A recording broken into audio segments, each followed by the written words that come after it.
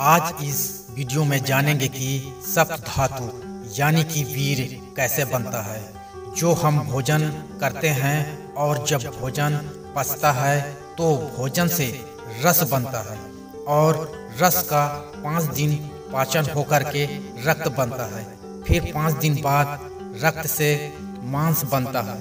फिर उसमें से पाँच छः दिन बाद मांस से मेद बनता है।